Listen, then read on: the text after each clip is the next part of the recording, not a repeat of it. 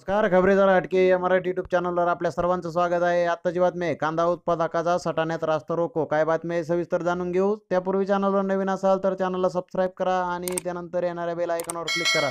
जेणेकरून मी तयार केलेले नवीन नवीन व्हिडिओ आपल्याला सर्वात आधी पाहायला मिळतील. तर सुरू करूया आत्ताची बातमी. कांद्याला उच्चांकी बाजारभाव मिळत असताना मंगळवारी येथील बाजार समितीत दुपारनंतर अचानक कांदा लिलाव बंद झाल्याने संतप्त शेतकऱ्यांनी सायंकाळच्या सुमारास बाजार समितीसमोर रास्ता रोको आंदोलन छेडले. पोलिसांनी समजूत काढल्यानंतर एक तासानंतर आंदोलन मागे घेण्यात आले. सद्यस्थितीत कांद्याला संपूर्ण देशभरातून मागणी वाढली आहे. सरासरी तीन हजाराच्या आसपास दर मिळत असल्याने कांदा उत्पादक समाधानी आहे. जिल्ह्याच्या तुलनेत येथील बाजार समितीत सर्वाधिक आवक सुरू आहे. काही महिन्यापासून चाळीत साठवून ठेवलेला कांदा बाजारात येत आहे. शनिवारी रविवारी सुट्टी असताना सोमवारही येथील बाजार समितीची लिलाव बंद होते. त्यामुळे तीन दिवसापासून साचून राहिलेली आवक मंगळवारी अचानक वाढली. यामुळे बाजार समितीत आठशेहून अधिक वाहनांची आवक झाली. सकाळच्या सत्रात लिलाव व्यवस्थित पार पडले परंतु दुपारच्या सत्रात लिलाव सुरू झाल्यानंतर काही वेळातच व्यापाऱ्यांनी लिलाव थांबवले. काही तासानंतर पुन्हा लिलाव सुरू झाल्याने शेतकऱ्यांनी समाधानाचा सुस्कारा सोडला परंतु लो तोच पुन्हा लिलाव बंद झाले आणि पाठोपाठ पावसाचे आगमन झाले. यामुळे निम्माहून अधिक वाहनांचा लिलाव होऊ शकला नाही. बुधवारी माथाडी नेते अण्णासाहेब पाटील यांच्या जयंतीनिमित्त बाजार समिती बंद असल्याने लिलावासाठी आले की दोन दिवसाची प्रतीक्षा करण्याशिवाय पर्याय उरला नाही.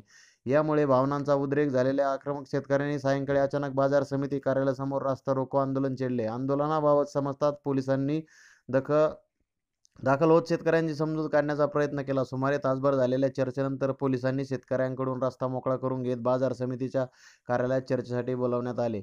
यावेळी संतप्त शेतकऱ्यांनी तीव्र भावना व्यक्त करीत बाजार समिती संचालक मंडळ व प्रशासनावर तोंडसुख घेतले.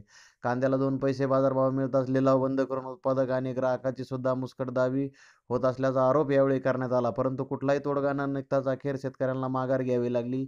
यावेळी लिलावासाठी आलेल्या शेतकऱ्यासह शहर परिसरातील शेतकरी आंदोलनात सहभागी झाले. ज्यावेळी कांद्याचे दर कमी असतात त्यावेळी सरकारमार्फत एवढी तत्परता का दाखवली जात नाही?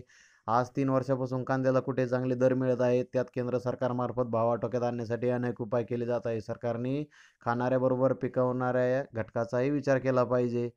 असं येथील शेतकऱ्यांचे म्हणणे होते. तर धन्यवाद मित्रांनो आपण माझा व्हिडिओ शेवटपर्यंत पाहिल्याबद्दल. व्हिडिओला लाईक करायला विसरू नका कारण आपलं एक लाईक हेच आमच्या मेहनतीचं फळ असतं. व्हिडिओला लाईक करा व्हिडिओ आपल्या मित्रांना व्हॉट्सअपवरती शेअर करा.